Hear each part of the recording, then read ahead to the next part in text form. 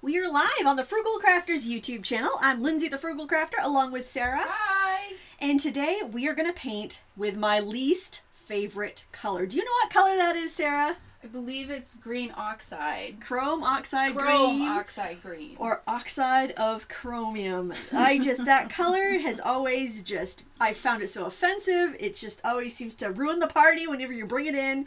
But I decided today I was going to give it a fair shake and see if I could combine it with other colors to um, make something pretty. And I thought it'd be nice to do a leaf. And I'll show you my reference photo here, which I have linked down below. And I just realized I got to turn my monitor on so I can see what I'm doing. Otherwise, I'll be guessing. And um, so if you want to print that off or open it up on your screen, paint along later, that is uh, that's linked up below. And uh, the thing with chrome oxide green is that it's so strong that it kind of overtakes whatever you um, you mix with it. By the way, this uh, video is brought to you by jerry'sartarama.com. I'm using their Mimik watercolor brushes and also their Lukas paints. They are the United States distributor for Lukas, but if you live in other countries, I'm sure you can find it from a local distributor in your country. Um, and I will go over the pigments that we're using just so you can have an idea of what that the full range, uh, well, the 48 set looks like. They have more colors than that. Um, but that's what it looks like. And uh, they're really wonderful paints and uh, quite quite a bit more affordable than some of the other uh, artist quality paints out there. So I was playing with this this morning and trying to figure out what colors I wanted to use. So my first uh, my first attempt, I used these uh, kind of neutral colors. So I have my chrome oxide green there. That's what it looks like. This is what it looks like when you kind of swatch it out in a gradient. Um, then I had green gold, which is PY 129. I had uh, English Red Deep, which is PR 101, and I had Indigo, and I thought I had grabbed Indanthrone Blue, one which is PB 60, but I didn't. I grabbed Indigo, which is a mix. So I did. Um, I did take some PB 60 and mix it with a chrome oxide green, the green gold, and the crimson, just so you could see. Oh, that was red, different red. I was using. I'm using the crimson in the other one, but anyway, I was curious about that color. And so this is the, the swatches that I made and the different varieties I've got from those four colors together, which I thought was actually very earthy and autumn-like and pretty. And there you can see how the picture came out that I painted with those colors. So then I thought maybe it would be more versatile if I used brighter colors. So for this one, I decided to use, um, again, started with a chrome oxide green. That's what I used the most of. Then I used phthalo blue uh, green gold and alizarin crimson and I got um, pretty much the same results. I mean that's how powerful chrome oxide green is. That's why I found it so offensive in the past is that it just takes over. So uh, we're going to paint this leaf and I actually haven't decided which color scheme I liked better. What do you think Sarah? Should the I big wasn't leaf or the actually little paying one? attention. I was watching chat.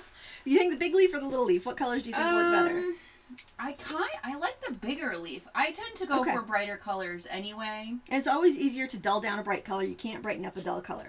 So we are going to use, these are all single pigment colors. We're going to use PG17, which is your chrome oxide green, PY129, which is a green gold, um, or it's called green yellow in Lukas, but it's, um, I think it's, I think the pigment name is like Azo green. I think that's what it's, what the wording, what it's usually called, but it's PY129.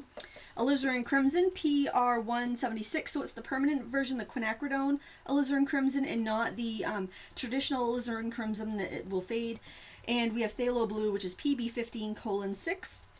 But you can use whatever phthalo blue you have. I know there are a few different versions, uh, but that's the one in the Lukas palette. And here you can see the variety of colors I have when I just do a general mix. And I just did a little mixing chart there. It makes a really pretty uh, skin tone when you do the green gold and the um, and the crimson. So I have my picture already on my paper, and um, I'm going to go ahead and wet the entire leaf. Actually, I'll go in with my flat brush and get a little bit more, cover a little bit more at once. I also want to let you know that um, I- I haven't mentioned in a long time, so those of you, the, of you that are new probably don't know about it. But I did a class at Craftsy a couple years ago, and they have all of their classes on sale, and I linked up to mine in the video description. The DVD of that class is on sale for $19.99, and the streaming access is uh, on sale for $14.99, and that is a lifetime access but they also have a, um, a service called Bluprint, which is a streaming service like Netflix for crafts. And that is, um, there's a seven day free trial going on now, and it's like $14.99 a month if you like it and you want to stay on there. But that's, it's all kinds of DIY from cooking to quilting, sewing, um, paper crafting, woodworking, gardening, all that stuff. So all that's linked up below if you want to check it out. Um, if you buy a class on Craftsy, you have lifetime access to it. If you stream it on Bluprint, then you would only have access to it as long as you are a subscriber. So it's just like Netflix, but it's all crafty, crafty stuff.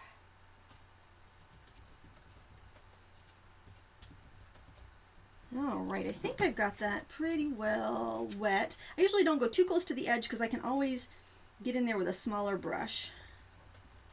And just hold it to the light and see if you've got it wet or not. And I found some more. Uh, I found some more cute dishes at a um, at a flea market, and I just alcohol inked them to hold more brushes and stuff. I love those little ridged dishes. They're really good for that. Okay, now we're gonna take chrome oxide green in all its glory and uh, it's actually kind of a cool green. I always thought about it as a warm green because it's so um, opaque and kind of muddy, but it's actually quite cool when you put it up next to other greens. You can see that it's kind of got like almost like a, um, a minty undertone. It's it's an odd color, and you'll see how it kind of overtakes everything as we start to paint.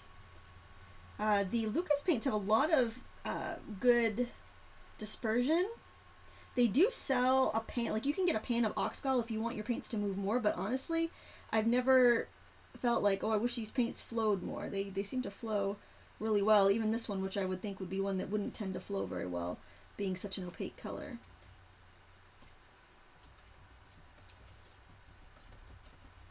Oh, if you have questions, put the word question in all caps, and then uh, that way you'll stand up to Sarah and the moderators, and they can make sure it gets answered so you don't get you don't get lost in the shuffle. I saw a nice live stream yesterday over on uh, the Mind of Watercolor channel, and it, our very own um, Denise Soden from In Liquid Color was interviewed. She's a, one of our moderators, and it, it's a really nice, a really nice uh, chat. If you want to check that out on the Mind of Watercolor channel, it was posted last night. Marty Owens and Steve Mitchell were the interviewers. Ooh, I bet that was very informative. It was very informative. I didn't intend. Well, I never seem to catch them live, so I'll listen to the replays while I'm like getting ready for the live stream or something. But um, I had just made dinner, and I for some reason I was just feeling very like stressed out last night, and. Mm-hmm. I'll get stressed out and then I'll eat fast and my stomach will hurt. I'm like, I'm just gonna go lay down for a minute, and I and I turned on my phone because I had just downloaded a uh, a library book, and of course, I didn't go right to my library app. I went right to YouTube. And I saw that that was that had just started, so I'm like, ooh! And I watched it straight through for like an hour and a half. Denise says thank you for coming by for Aww. it. Yeah, she's a really interesting person. She was a zoo educator. She does a lot of wildlife mm. art, so she's got that firsthand knowledge of animals. It's really it was really interesting to listen to her.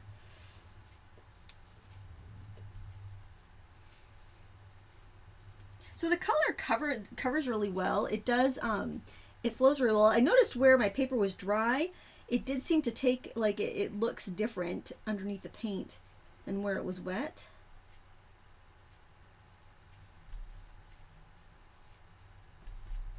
It definitely, it looks more, um, more solid and opaque where it was on that wet paper and then it flowed out better where it was on dry paper, which makes sense. But usually you don't see that much difference in the, uh, the finish of the color. And I do have this thinned down to about, I would say like um, 2% milk consistency on my palette. But this, there's going to be some dark kind of, almost looks like, um, like when you overwater a plant, how it gets kind of, the leaves get kind of brown and die. That's kind of what the edges of this plant looks like.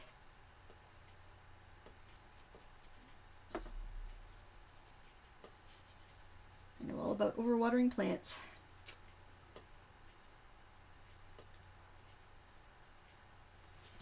Okay, now into that color, I want to add something to brighten it. And it almost looks like on my monitor. Hey, could you turn your computer on? I want to see how it looks on that monitor because it almost looks extra flat. Could you tip the screen towards me a little bit? Okay, I think it's just my monitor. I was thinking this looked really gray.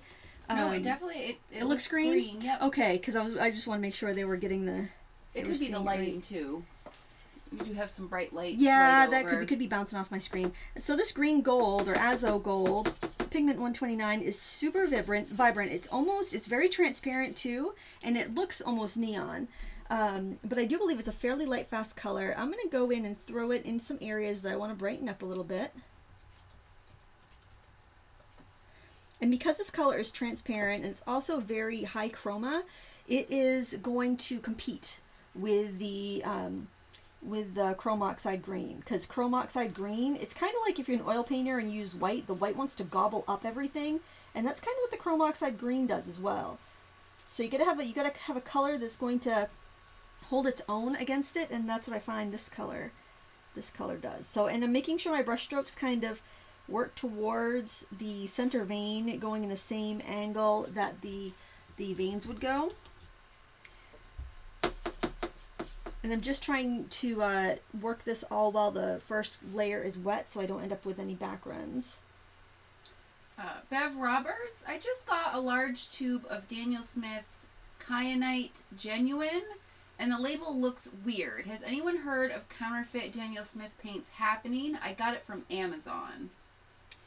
Oh my gosh, I have I haven't heard of it, but um, it should say made in the USA if it's Daniel Smith. I would look look at the label for that.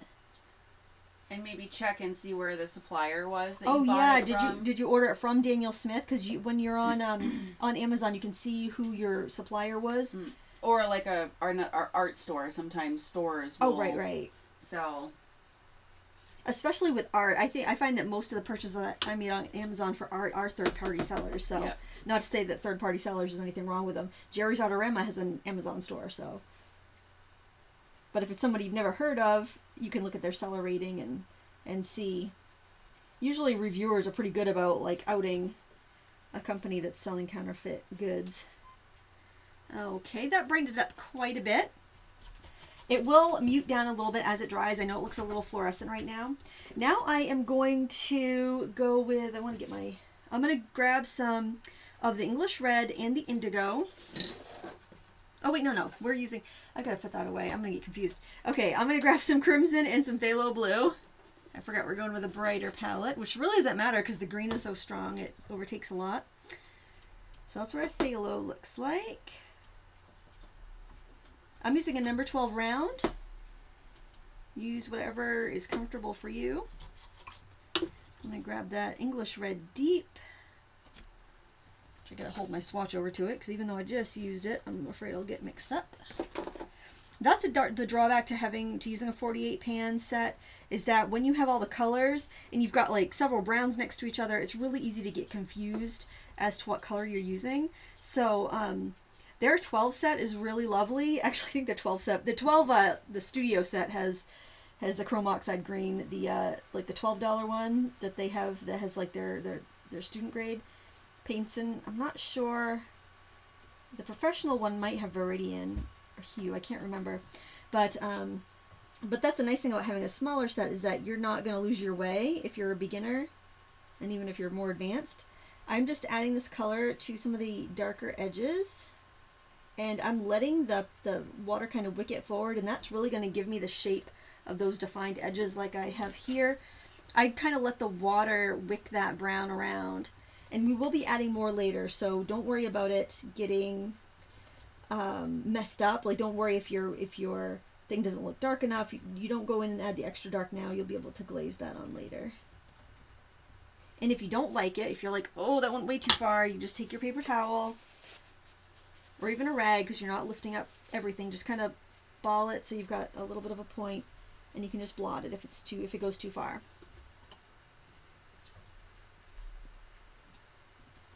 the practice paintings I did on the Aquabee paper, and this final one here is on 140 pound cold press arches.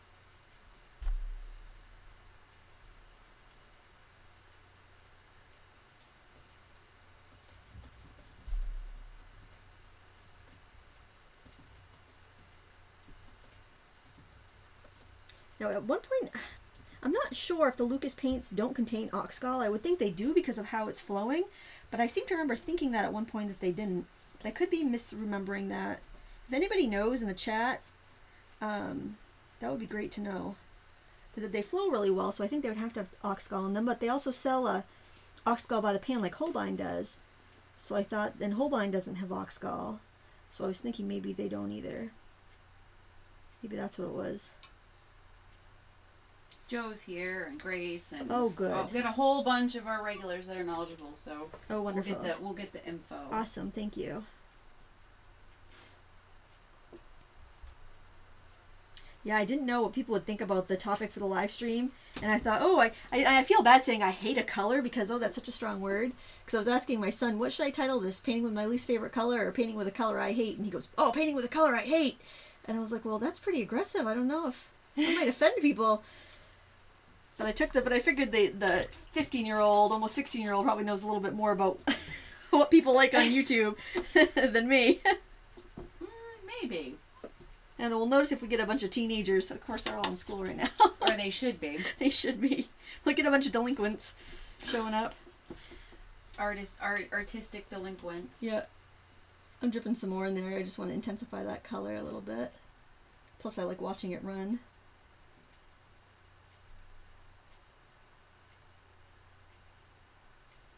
I haven't decided if it's go if this color is going to make an appearance frequently or not, but I have to say I like it more than I did when I started.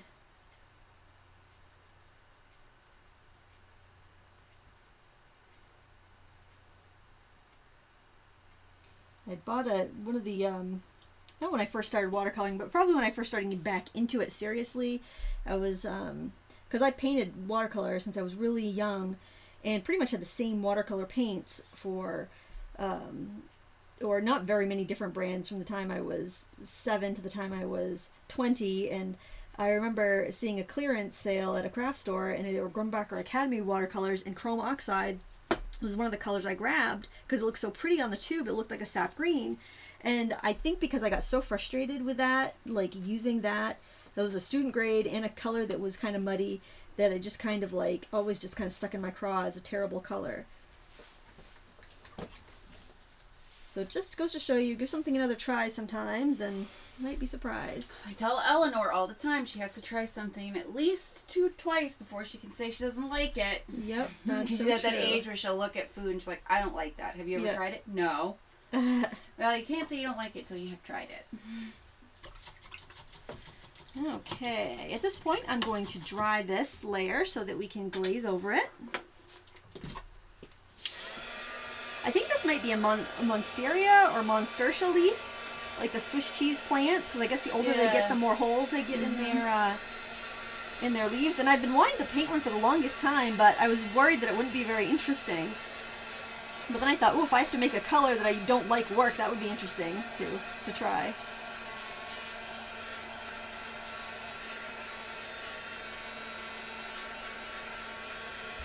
When you have a, a paper like this and you haven't taped it down and you're drying it, if you flip it and dry the back side for a while, that will help it from buckling.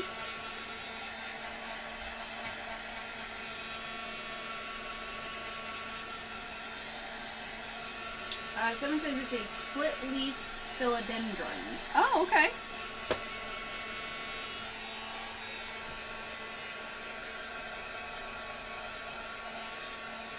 You can see some pretty granulation happening in here um, from the chrome oxide green. And I did notice that when I was mixing it with the Indanthrone blue that the chrome oxide and the Indanthrone blue had a very soft uh, granulation in there that was pretty. I think they're both kind of sedimentary. I find that Lukas does grind their paints pretty finely, kind of like um, kind of like Holbein does. It's a very smooth consistency of paint. Your ultramarine will granulate, but it's not going to granulate as much as it would like a Daniel Smith. So if you've never given them a try, they're a lot less expensive than other brands. So you can get like a, a half pan for a couple dollars, probably a full pan for a couple dollars, and you could try it out and see if you like that that brand. I would do that before you buy like a big set, just because you know that's kind of an investment. If you don't like it, then you're out that you're out that money, and you've got a palette to deal with. Okay. Now I think I'm going to go in and just darken some of the splotches. I might try doing a little lifting and seeing if I can, seeing how those colors lift. They ought to lift pretty well because those colors are pretty sedimentary. I think the indigo might have some violet and phthalo blue in it, so that might stain a little bit, but that's all right because the the uh, plant itself does have a little bit of like a um, like a minty, cool blue undertone, so I think that might be all right. So I'm going to see about lifting a little bit around in here where my dark ran. I'm using a Menta scrubber.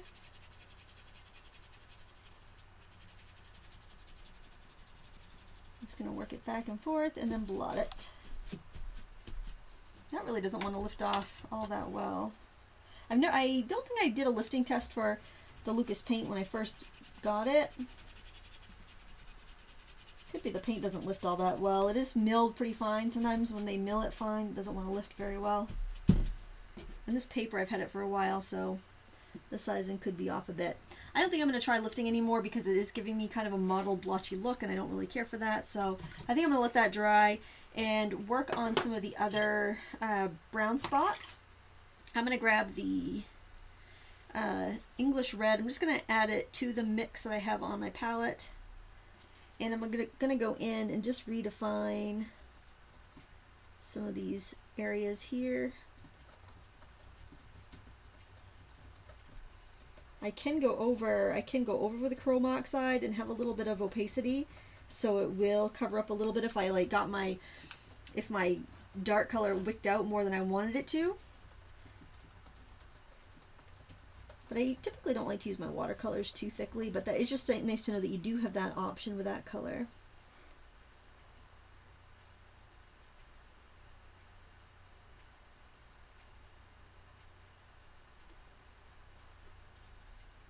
The English red is also a color that tends to be a little bit more uh, opaque.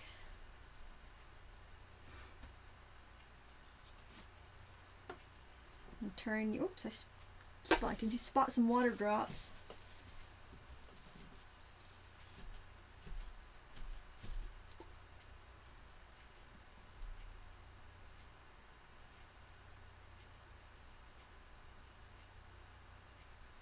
I like this. When I saw this leaf picture, I thought it'd be really fun to paint because usually um, you'll see very pristine, perfect leaves, and I think ones that are a little bit imperfect are a little bit more interesting to paint.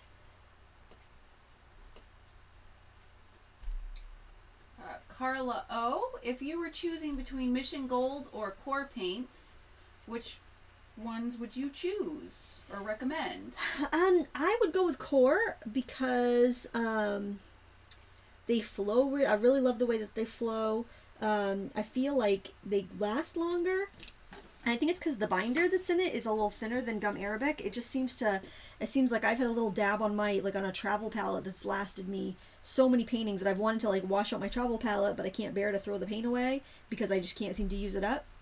Um, More travel palettes. That's right. yeah, so I would between the two, I would say QoR, unless you're getting like a fantastic deal. I mean, obviously price would be a consideration. I wouldn't pay like double for the QoR, but if price and for both were the same, I would go with the QoR.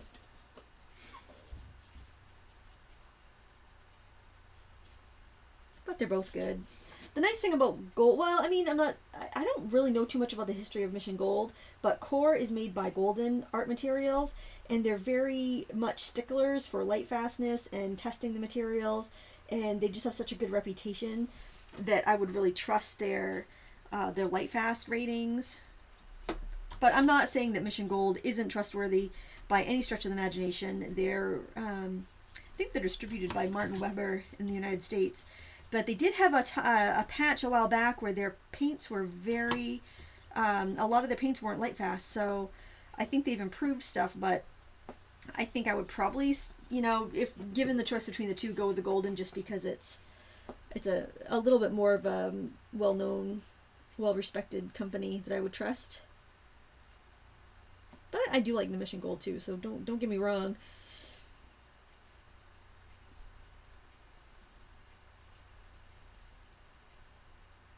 You can see a little feathering there where the paper is still a little damp from where I tried lifting. I don't think that's a big deal for this type of shape that I'm painting, but just to let you know. And also you can notice, like look at like there, how almost black that brown looks, and up here how it looks more red. As the pigments are settling into the paper and um, drying and mixing with what's underneath, you lose all of that vibrancy as, as it dries and settles into the other paints. That was a pretty extreme um, example of it, so I just wanted to bring it to your attention. Usually don't see that much of an example. So don't freak out if your paint looks really bright when it's wet because it, it can shift a bit as it dries and absorbs.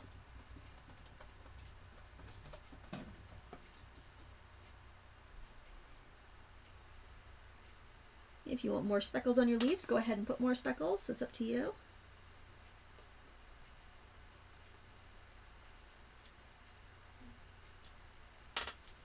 I posted a beginner landscape tutorial earlier this week on my YouTube channel. If anybody is uh, needing a want to brush up on their basics, or if they have any friends that want to learn watercolor, it's a uh, it's a painting of a stream that I saw driving back from Canada last week.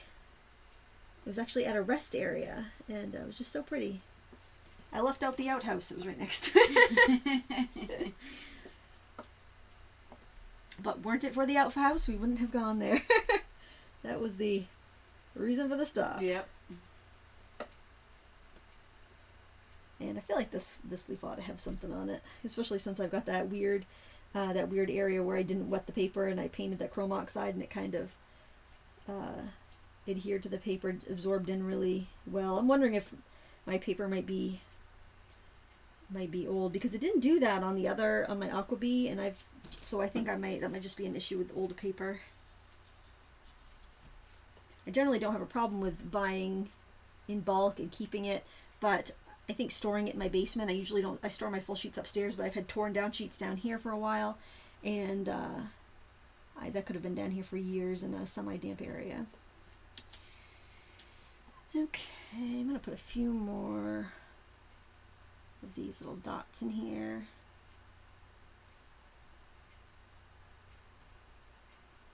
a little bit bigger. I also wanted to mention the more you use a watercolor tin, the better it gets for mixing. So if you've got your tin and everything's beating up on it, um, just keep using it. it. It will get better. And that goes for pretty much any brand I've ever used. Or you can even rub it with a, a magic eraser. You can remove stains, but you can also, it'll also uh, help take some of the shine off of it. So it'll, it'll hold your paint better.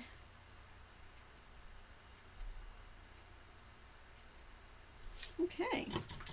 Now I'm going to take the chrome oxide green, I've got plenty of it left right there, and add in some of the indigo, and we'll make a vein color. You can kind of see how milky that looks. If I want to brighten it up, I can I can add some green gold to it as well. Because that will give me color without any opacity.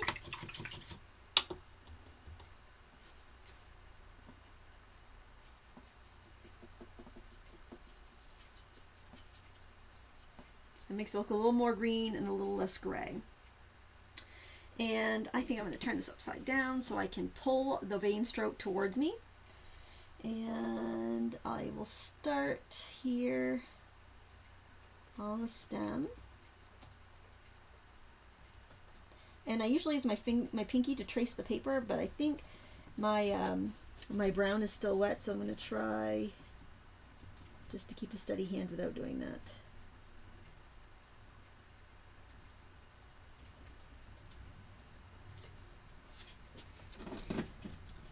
Pretty well.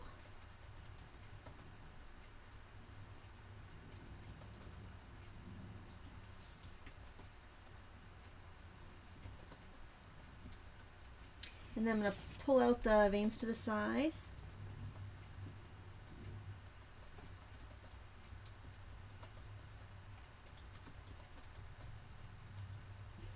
If we need to switch to a smaller brush, go right ahead. And these, it's going to look kind of bold right now, but don't worry, it's going to mellow as it dries, and then we can also glaze over it, so. Uh, Heidi Cook, how do you know if your paper is too old? How can paper be too old? Well, sometimes, and I notice this with arches, um, and it might be because it's a gelatin sizing, that the sizing can kind of just become inactive, I guess. Like it stops being a barrier. I don't know if it just environmental um, factors kind of eat it away or what. Um, and I don't know if this would happen with synthetically sized paper or not, but it just kind of stops. Like if you were to put a drop of water on your paper, it might not bead up and stay as a droplet of water. It might just absorb like a paper towel. So that's what I mean. It's definitely not like that you can't use it, but it might frustrate you. Um, like if you're trying to scrub, like I was, uh, like I was scrubbing and I wasn't getting any color up. Um, so things like that, it would give you, it would frustrate you, or maybe even doing some blending, it might frustrate you because everything's just going to soak right into the paper.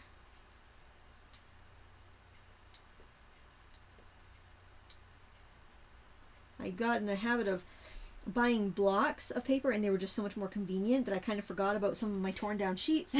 so then they sat in a folder exposed to the, uh, just kind of exposed to the environment here and sometimes they go in my bag and they're, you know, fall out of a kayak and, you know, it's a rough life being one of my supplies. Because Arches is still my favorite paper. I do like the, um, the animal sizing, which probably sounds really funny coming from a vegetarian. It's a byproduct of the of the meat industry. It's made from their bones, uh, but the rest of my family consumes meat, so I feel like it's using the whole animal at least. Fabriano has a um, a synthetic sizing that's pretty good.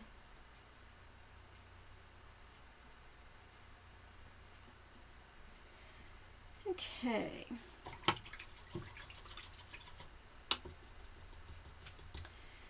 All right, I think I am going to uh, go in with a little bit of green gold and see how that would work on top of some of these darker colors. I don't know if it will stand up, but yellows do tend to dominate sometimes when you put them in darks. So we'll see when they dry whether they still appear to be there. If not, it will just give me a little bit of a variance in texture. And I do intend on using a little bit of color pencil for accents um, because I didn't mask, I didn't retain like the lights between the that light kind of border between the um, the bra- the brownish blackish leaf and the bright leaf. So it's just uh, quicker and easier for me to do that with colored pencil.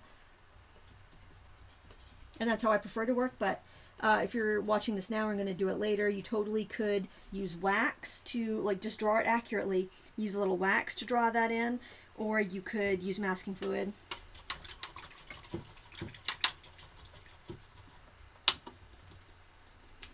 And I think I'm going to grab a little of that indigo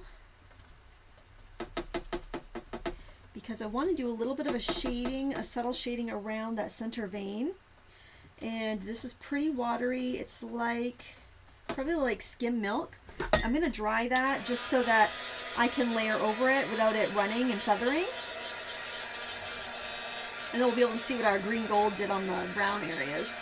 It's really transparent, so I don't know if it'll show up. It pro I, my brain would tell me it probably shouldn't, but I've seen colors do weird things, so it might just give me a little bit of um of a sheen here and there.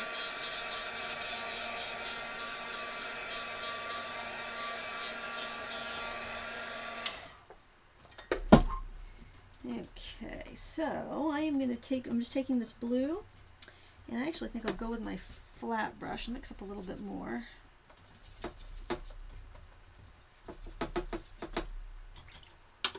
And wet my brush here. Get it to the right color that I want, which is just a really pale, uh, pale blue. Then I will blot off the excess from my brush. And I blot it from the close to the ferrule, so I still get the color at the tip, but I take out the excess moisture and I am just going to kind of wisp it out from the center.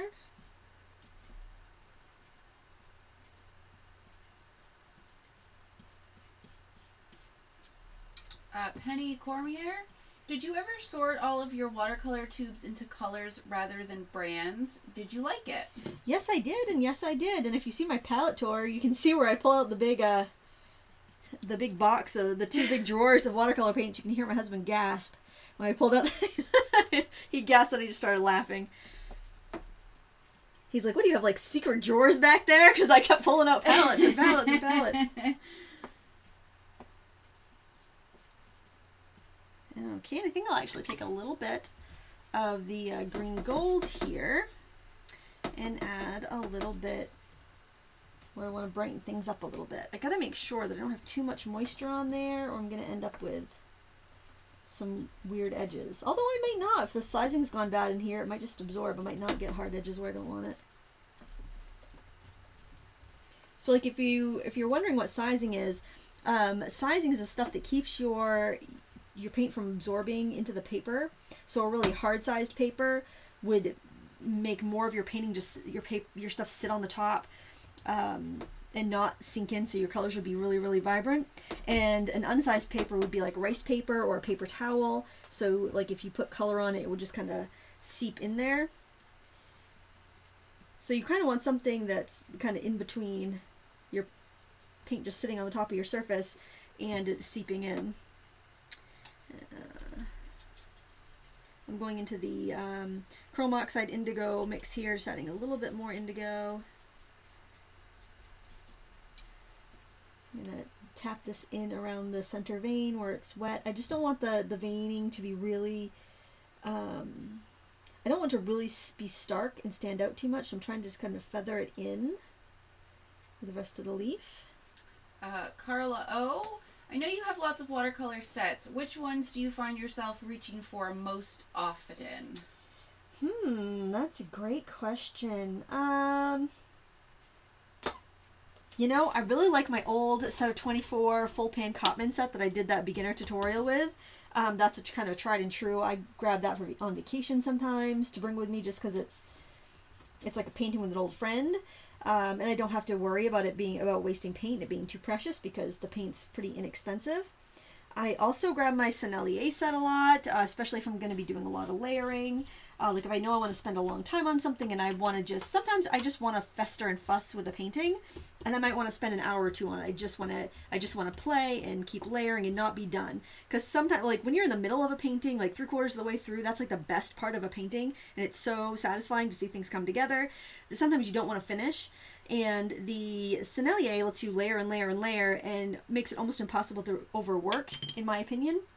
So that's kind of, that's what I pick for that. And I also really like my Rembrandt set of 48. It's a palette like this, um, but it's a little, I find the Rembrandts to be a little more transparent than the Lukas.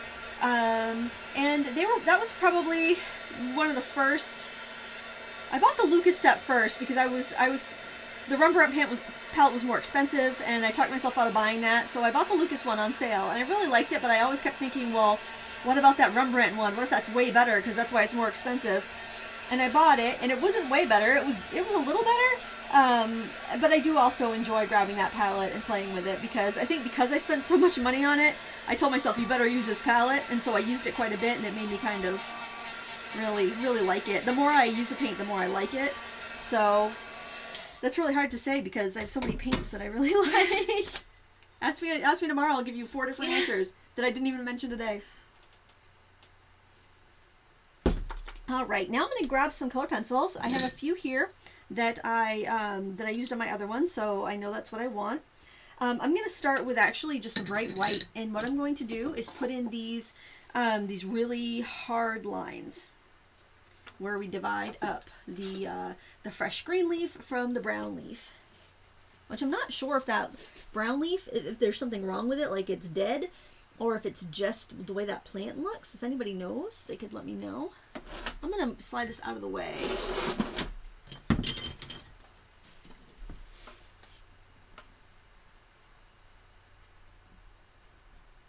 Yeah, before you, if you're ever curious about a, um, a paint set, unless you find a really awesome deal on it, I would recommend that you buy a couple tubes or pans um, of colors that you're familiar with like I wouldn't buy crazy colors that you've never used before because it's going to make it really difficult to determine whether that's a good brand of paint or not.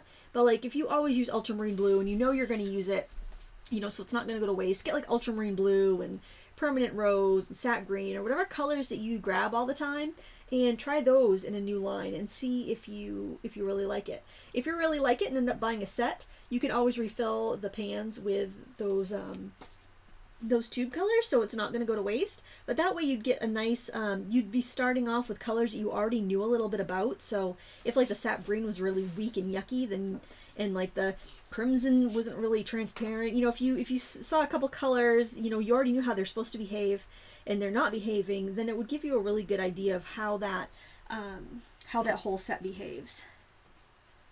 And I say that being completely um, weak when I see a good deal on a watercolor palette that I've never tried.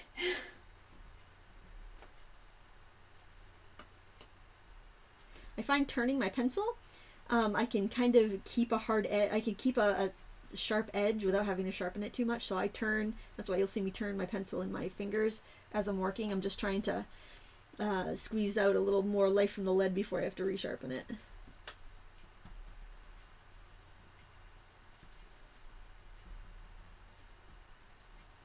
You could also do this um, when you begin, like before you paint anything, and um, you have like a little resist going on. But I like to do it after, especially when I've been using a color colors that are a little more opaque, because it um, it gives a nice tooth to the paper and it just seems to really grab the pencil.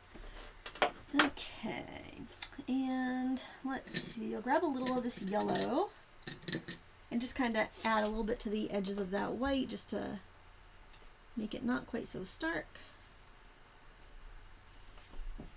Do we have a good crowd today? Are we We do. We have 339 watching right now. excellent? We had a question about your the brand of colored pencils you were using. Sure. These are Prismacolors. Um, Prismacolors are my favorite. I know they're not everybody's favorite, but I find that for um, enhancing watercolors, if you want a more opaque pencil, they're excellent. If you prefer a more transparent pencil, um, the uh, the Arteza ones are very inexpensive and they do great. Like if you want to add color pencil to your, and I'll show you. I did. I'll show you that painting we did last week. So if you want to add color pencil, but you don't want to have it look like colored pencil, the Arteza, you can barely tell that I use colored pencil on this. If I tip it, you, can, you don't even see any sheen hardly. So if you want your pencil to be a little more subtle and more transparent and not like be as bold and stand out like this, I would recommend the Arteza. Um, and they do have light fastness ratings on them, which is nice, and most of them are pretty good. They are a new company, so um, you know, take that for you know what you will. Um, but they do offer light fast ratings on their pencils, and it's all what whatever your preference is. I prefer a more opaque pencil, so I gen- generally prefer wax paper pencils to oil-based pencils. I actually just put away all my polychromos I had sitting on my in racks on my table a couple like two weeks ago because I just found I wasn't grabbing them very often. No, they're a little more popular. They're more expensive, but I just personally like working with Prismacolors more. And I got a little cream here.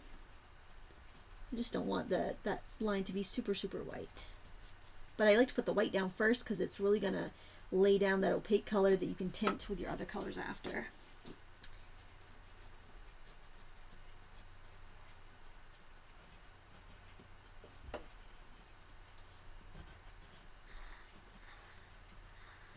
See there, I went with a yellow before I went with a cream and it's not as bright as these other edges. Just having that white underneath will give you that brighter edge. But if you want softer edges like for these, um, these shapes that are more interior, do them with the cream or do them with yellow first and then white over them and you'll get a more subdued look.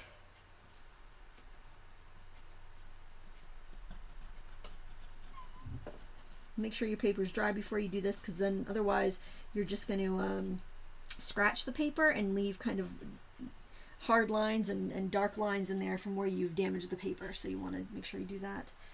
Do that first. And then in the darks, I actually want to put some, where you can see where I put the green gold a little bit, where the pigment's kind of laid on top of the other colors, but it wasn't as uh, strong as I wanted, so I'm just going to go in with this, uh, this is either lime peel or chartreuse pencil, and just, and it's a dull pencil. What I'm going to do is just catch the texture of the paper, and that's going to give me that really accurate um, kind of, uh, it almost looks like, um, like peeled paint texture on the leaf here.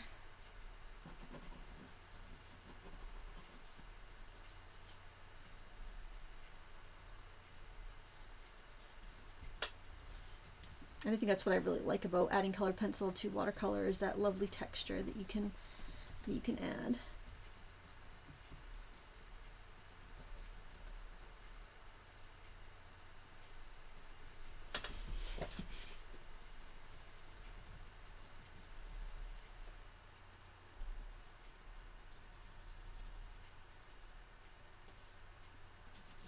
And when you do your lines, even though you're just kind of putting texture on, you still want to move your pencil. Like if you pretend that these le these veins are going, like they're reaching up from the center to the outside of the leaf. That's kind of the you want to you want to shade parallel with those lines so that you get that you reinforce that veining.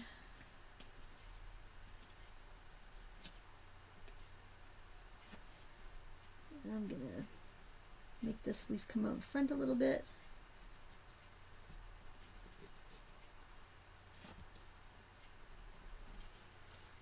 Can add a little bit of yellow in there too.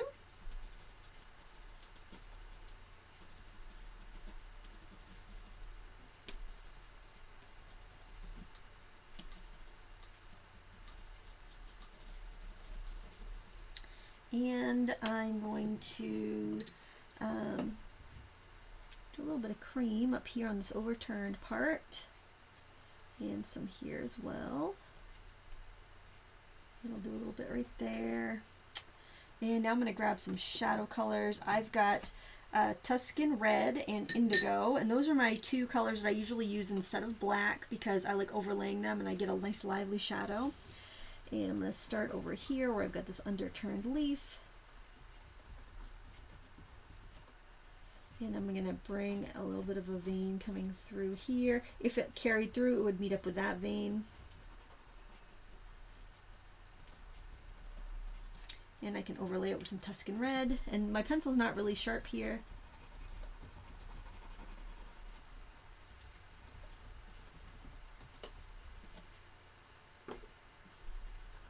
When you do get into details, you might want to sharpen it just so you don't have to get hazy edges, but I just wanted to get that overturned area colored in. And it doesn't seem to matter too much what uh, what color you do on the bottom. like I did the red and then I'm doing the blue over it. Um, it doesn't matter as much with colored pencil unless your paper's really smooth and you'd want to put your dominant color down first just to make sure you don't clog up the tooth before you get to adding what you need to add.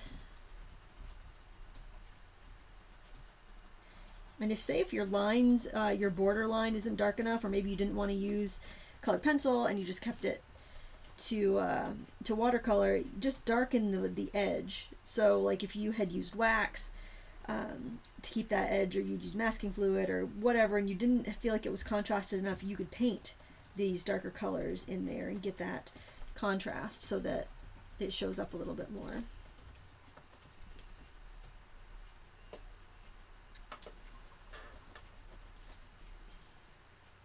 I just recommend that you use as few colors as you can to get the point across so that way you don't end up um, creating discord in your painting.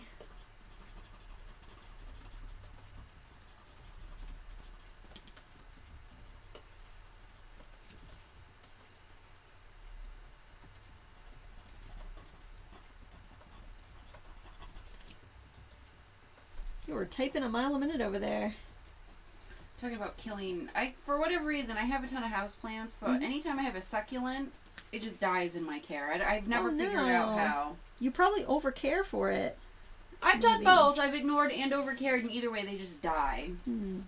I heard that like because I've I seriously get tempted by houseplants at the grocery store. And it's probably because I don't go to like flower shops or plant stores. I you know I'll like on purpose. I'll just happen to be grocery shopping and I'll see a plant that looks really cool, and I'll bring it home and you know it dies in like two weeks. But then I had um, watched some I don't know Today Show or something, and they said that how plants from the grocery store aren't designed to live more than like two weeks. Ah, like they're more they usually just kind of for gifts they're more of like an impulse thing right, which kind of made me sad it's like well i don't want to buy something that's going to die in two weeks right. I usually buy my house plants from like a garden center. yeah And I mean, I've had I've had all sorts of like wandering Jew, Swiss, uh, Swedish ivy, you know, Mhm.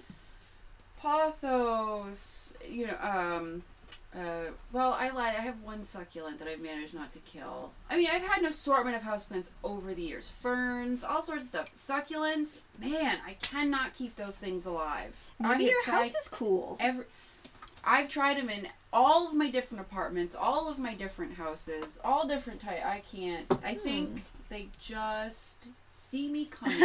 they don't like you And they're like, we don't want to live with you for the rest of our lives. We're gonna die now. i have a cr- jade that's going crazy i just took it off my um my windowsill and put it on a end table so I can enjoy it. Hopefully it does all right there. I think it like the heat. It, it's really it's going nuts. I think I need to repot it because it's so big. Probably not, because I've that's how I've killed several. Oh, is maybe. repotting. See, I, I I kill all the other plants. I just think it must be my neglect that keeps them going. So, hmm.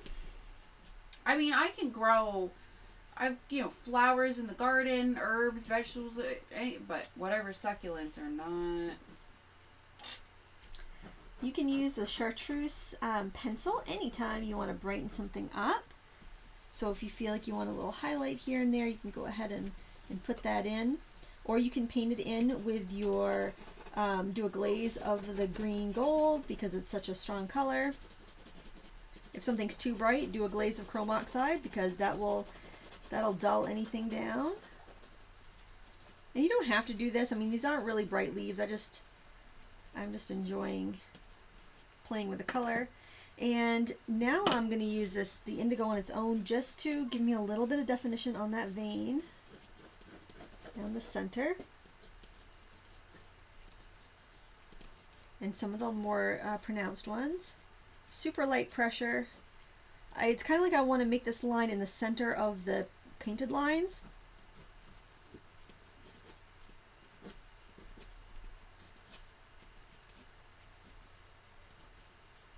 I bought one of those cute little uh, hanging ball terrariums last summer Mm-hmm. at the I grocery killed store. one of those too. Mine's still going, I think. I actually just soaked down the soil and like kind of readjusted my little things and popped in a couple of their little succulent uh, yeah, clippings um, from my other ones to hope hopefully spur it uh, along Yep, a little yep. bit.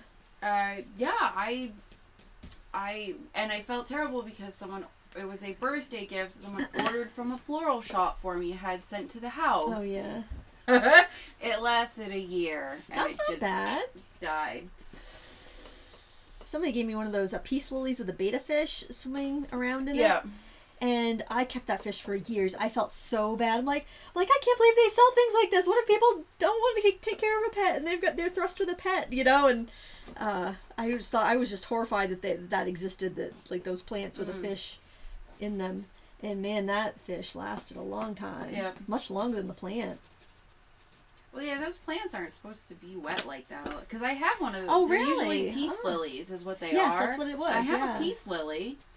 Had that same one for years. In fact, I actually had to cut it down into smaller.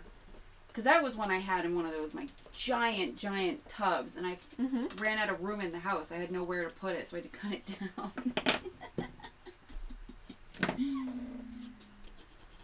Those are pretty plants. And just for a final touch, I'm using um, Cloud Blue. I think it's Cloud Blue. Gosh, it's hard for me to read those tiny. Uh, light cerulean blue. Um, and I'm just just kind of scumbling over there. Um, this aqua paper has less texture, so my lines are a little smoother, and I didn't it didn't use as much. This is really wearing down my pencils. Just to let you know, that the cold press arches is going to be much rougher than the Aquabee but I just wanted to give it that little bit of a cooler blue undertone that it has. Kind of like the the uh, the uh, oxide of chromium has. And then I think I'll actually grab some of the oxide of chromium on uh, a round brush, and I will just do a little bit of glazing. Oh, my teacup! I right in the screen. And where's that guy? Right over here. And what I'm going to do is um, I'm going to do a bead of, of the color right up the stem, and then I'm just going to kind of fade it out to the, kind of fill in some of the gaps from the colored pencil.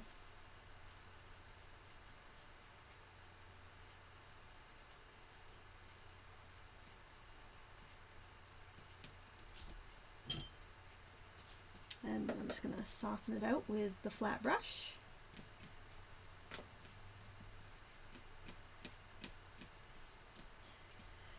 And there we have it. Does that look done to you, Sarah? I think it does. I think if you keep messing with it, it's gonna be over. Overworked. Yeah, that can happen pretty easily, especially with a simple subject like a leaf. Mm. Um, so I urge you to try. Oh, before you go, it would be really fun if you guys uh, in the comments after the stream's over, if you typed in my least favorite color is in the comments, I'd love to know what your least favorite color is. And then people watching this, like, because people probably don't make it to the end on the replays of the live streams, they'll be watching like, why is everyone saying what their least? What a negative bunch of people! oh, I thought it was supposed to be nice and friendly, and everybody's talking about what they hate. Yes, but tell me what your what your least favorite color is. I'm curious. So I wonder if there's like one color out there that everybody just can't stand. Um, and I think, it, and then I urge you to use it in a painting. Like Mm. pick that least favorite color, mix it with some other colors, try to find a good use for it. I'll just show you this one again since it's dry, um, and also show you the difference between the Aquabee and the Arches. I have to say, I really like the Aquabee paper. Um, maybe because it's so inexpensive, I feel much more freer on it, but um, it's really a great quality paper. So I just don't want anyone to think that they have to go out and spend, you know, twenty to thirty dollars for a small pad of arches when they can get a pack of fifty Aquabee sheets for um, fifteen dollars. So I just want to let you let you know that it is 100% cotton and acid free, so you're not really sacrificing anything. And this was done with the same palette as this one, the brighter colors. Here, this one was done with the with the more earth tone colors, and I think they came out pretty similar both ways. So um, it just shows you how dominant the color chrome oxide green is, and kind of gives you a little idea of why it can be so difficult to work with it. Um, the mixtures that I did here, just I did a little mixing chart with those colors, and uh, there it does yield some beautiful earth tones. Even when you mix it with the brights, you get some beautiful kind of like um, skin tones and grays, um, peaches, and just some subtle colors like some grayed teals that would be pretty um, in landscapes and whatnot. So if you have a least favorite color, I urge you to try it. Chrome oxide green was my Waterloo for so long, but now I'm actually thinking that I might use it a little more often, maybe if I'm all out of sap green. I don't know. Uh, please give me a thumbs up before you go. That really helps people find this these uh, videos. And I want to thank Jerry's Artarama for sponsoring this week. You can find the materials I used linked up below, along with a reference photo. And there's a coupon code for Jerry's. That coupon code is good for non-sale items. So. Um, hopefully you can use that on what you want to buy or the sale price is so good that it's better off than the coupon. Do you have anything to add? All set. okay awesome. Thank you so much for watching guys. And until next time happy crafting